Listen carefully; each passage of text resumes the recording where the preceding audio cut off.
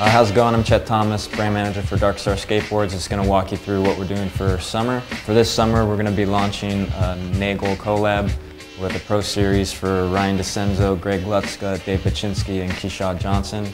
This being Kechaud's third Pro deck that we're releasing for him. Happens to be his favorite series as well as the rest of the team, so stoked that we're doing something that the whole team's hyped on. Patrick Nagel is a great artist, lived and worked in LA in the 80s. His bold imagery made his way into pop culture, mainly through fashion and music, um, but also through art galleries and poster sales. We originally got the idea to do the Nagel collab due to our creative director living next door to a Nagel poster collector. His living room's filled with tons of original Nagel pieces from floor to ceiling.